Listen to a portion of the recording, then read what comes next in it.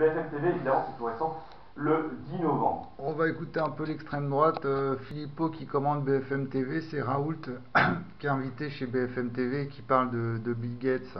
Alors, euh, comme ça, on est à fond dans la confusionnisme, euh, entendu, machin. Euh, il déclare ceci. Dans la complexité spatio-temporelle de notre époque. Premier sujet, avant de passer à Bill Gates notamment. On est devenu fou, je cite, au point où on ne soigne plus les malades. Véran est directement mis en cause. Et il ajoute ceci sur sa chaîne YouTube ce 9 novembre. Je sais pas pour qui il bosse lui, mais je crois qu'il est universitaire, il est prof d'éco et euh, c'est un ancien du FN, hein, je pense. Sur un délire, je cite le professeur Raoult, hein, la veille du jour. Ou peut-être euh, Maigret, je sais pas, je connais pas son cursus euh, politique. Où l'OMS dit ça ne sert à rien, l'Europe on l'achète pour 1 milliard d'euros, là il est en cause l'Union européenne. Et nous, l'ANSM, donc Agence nationale de la sécurité. Elle date du 11 novembre, hein, cette vidéo, elle est récente. Hein. Des médicaments, mis en cause. C'est-à-dire le bras armé du ministère de la Santé utile pour les médicaments. C'est pas mal cette méthode de couper de, en direct et tout. Je teste des, des, des, techniques, des petites techniques. Euh. Dit, vous pouvez l'utiliser. Et le directeur général de la santé envoie dans tous les hôpitaux, vous pouvez l'utiliser comme vous voulez. Il a une sale mine un peu, hein. on voit le, quand même l'urbain qui vit à Paris, il a, pas, il a le teint un peu blême. Hein. Raoul ajoute dans cette vidéo YouTube, un jour il faudra bien que quelqu'un se mêle de ce qui s'est passé à la NSF. Bon, euh, j'aime bien, moi, il est sympathique, mais c'est vrai que c'est bon son dessin, les patriotes là derrière, euh, avec la croix, c'est la croix de Lorraine, hein, je crois, ici. C'est bien pour faire des zooms et tout avec la GoPro, le Frexit. Bon, Asselineau aussi, Bon, toute cette nébuleuse droitière, euh, elle nous aide pas beaucoup en fait, parce qu'elle reprend la critique, une critique de manière un peu.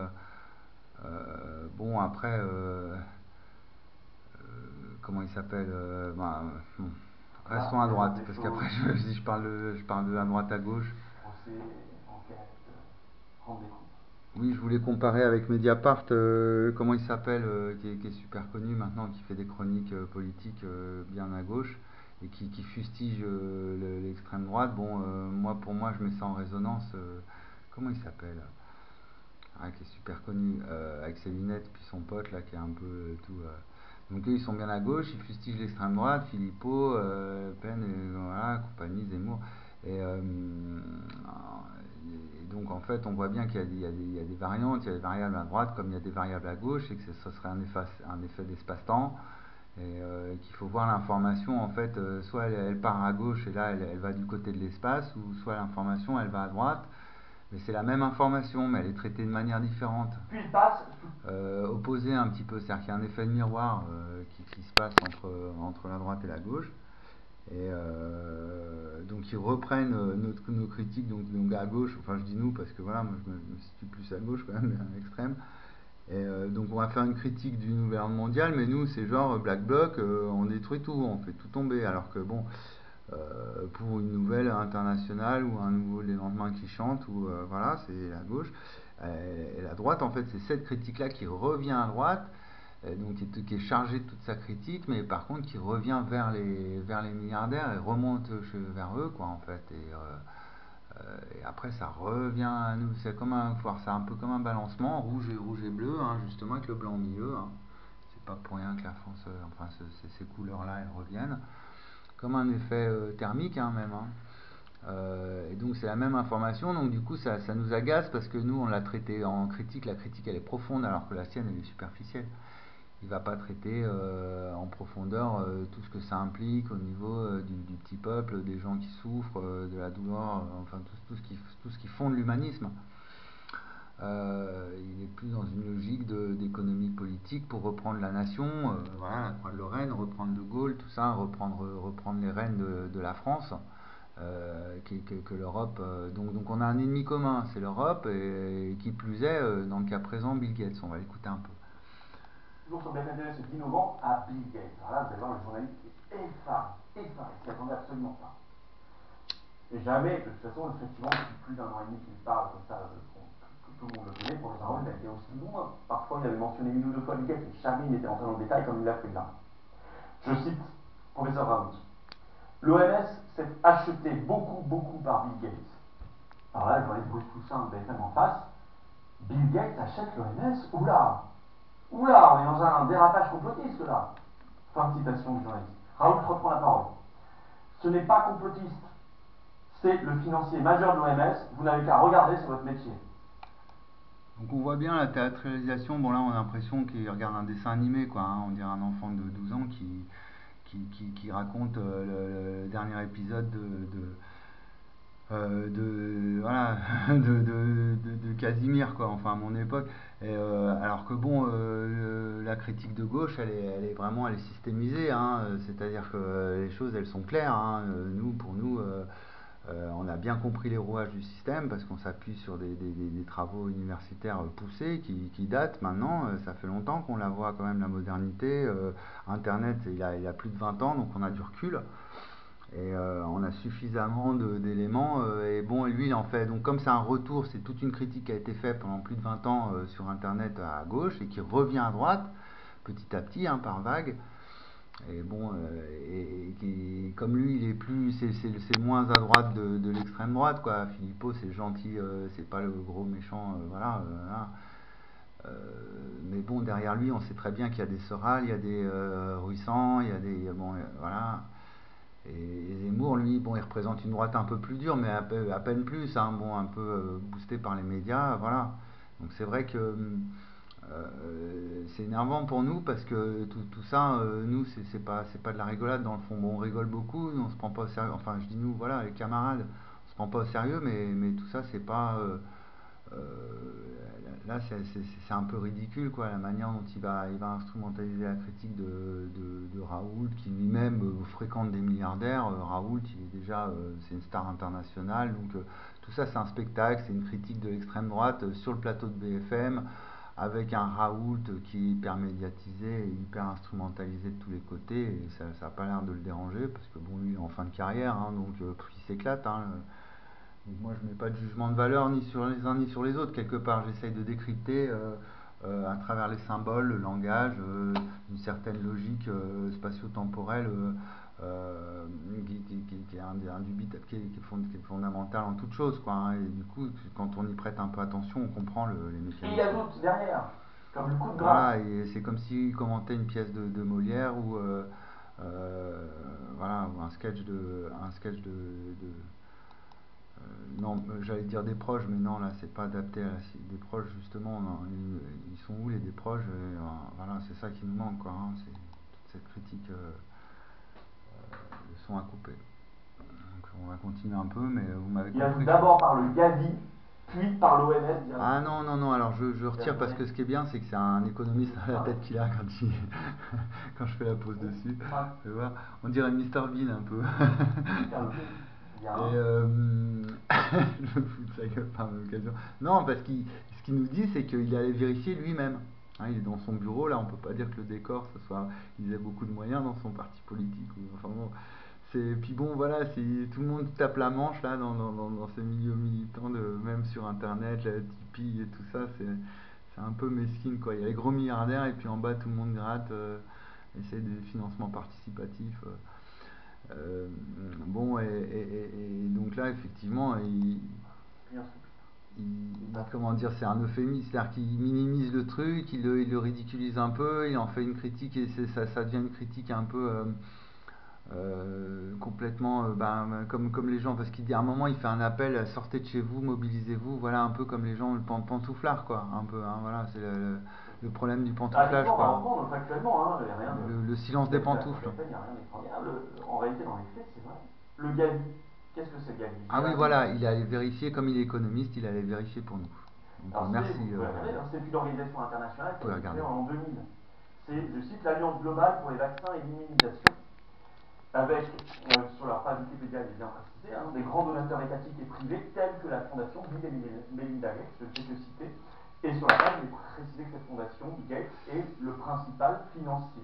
Donc euh, moi je vous invite si vous voulez creuser ces questions. Euh, j'ai longtemps suivi Jean Droc et puis bon c'est vrai qu'il est un peu bon un peu relou euh, et puis bon c'est vrai qu'il est quand même bien du côté à droite même si c'est il se dit résistant bon moi je lui en veux pas, c'est surtout quelqu'un qui produit de la connaissance, euh, voilà, qui a un, bon niveau universitaire, un peu comme Michel Collomb, euh, et donc qui, était docteur en droit, bon lui je crois que je sais plus ce qu'il a fait, l'histoire, ou je sais plus, euh, Jean Roch, et donc il a, il fait tout, un travail quand même de, en lien avec les États-Unis, où apparemment il reçoit pas mal d'infos de là-bas,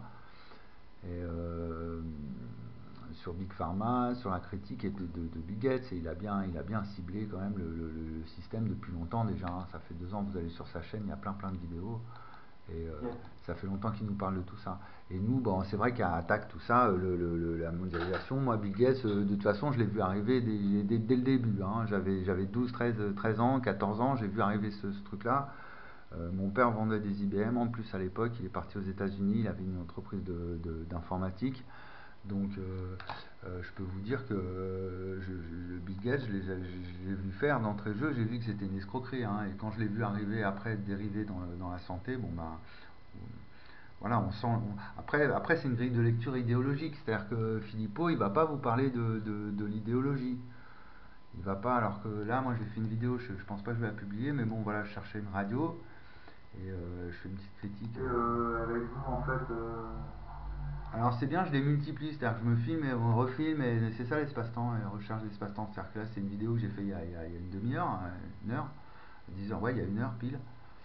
Et, je la rediffuse en refaisant une vidéo où je peux encore en faire une troisième, et je peux en faire comme ça à l'infini. Donc j'essaye avec la caméra euh, de, montrer un. Vraiment m'éveiller en moi euh, plein plein. Euh, voilà, c'est comme si je faisais une expérience un petit peu euh, méta, métaphysique, mais avec la physique, quoi, pour, pour chercher la, la, source de l'information, où est-ce qu'elle se situe dans le miroir, l'effet miroir, cet effet spatio-temporel, euh, on creuse, quoi, on bricole.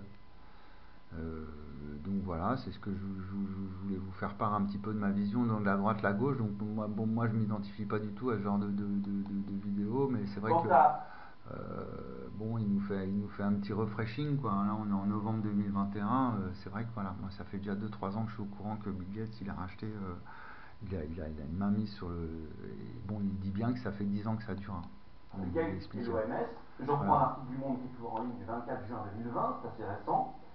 Je cite le Monde. La Fondation Gates est, je cite, le deuxième contributeur direct au budget de l'OMS, à hauteur de 12,12% du total du budget derrière les États-Unis 15,18%.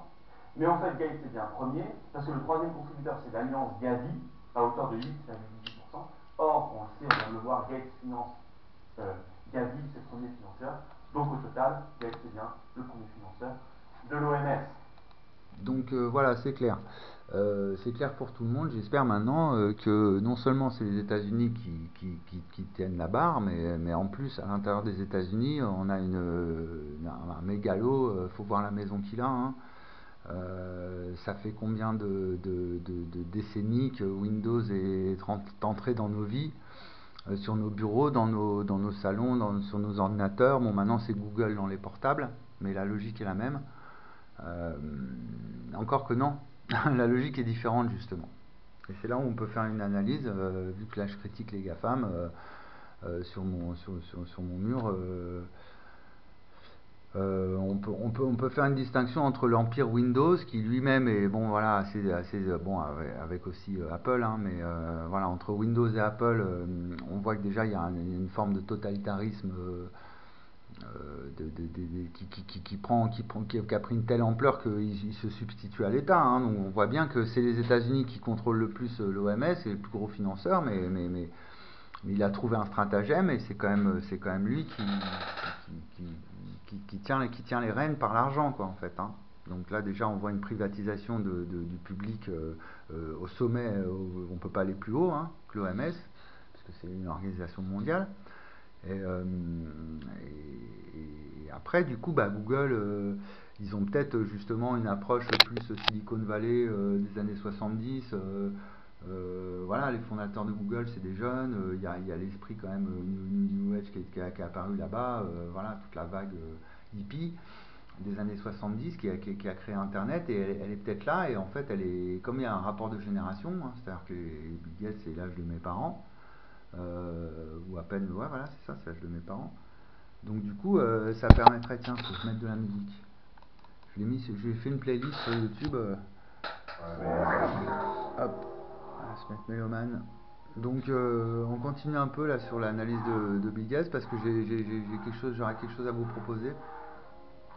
Pour, j'aime pas le mot faire front parce que ça me rappelle toujours le front de guerre, le front national. donc j'ai vu là le front médiatique. euh, si- s'il tombe sur ma vidéo, hein. Hein, moi, je veux bien, je veux bien aller dans ce sens-là, euh, de, revoir un peu les médias, mais euh, essayer d'être plus créatif.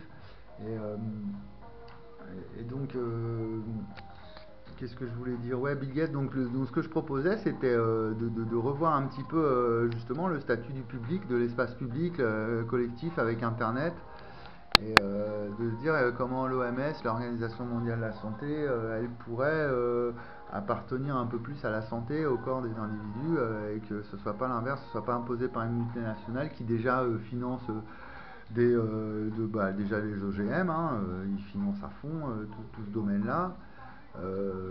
L'énergie, je sais qu'il est- il investit des centrales en fait qui, filtrent le CO2 dans l'air. Il a fait ça au Canada. Il finance des, usines qui filtrent le CO2 pour, faire du pétrole avec. hein, le Bill Gates, il fait ça. Euh, voilà, et puis après les grandes campagnes de lutte contre le, dans, les Antilles, à Haïti, j'ai vu toute une émission comme ça sur la fondation Bill Melinda, Gates. Ou alors c'était peut-être une interview sur Thinkerview aussi. Sur Thinkerview, un, un, médecin qui travaillait pour le. Ouais, il balançait Castex.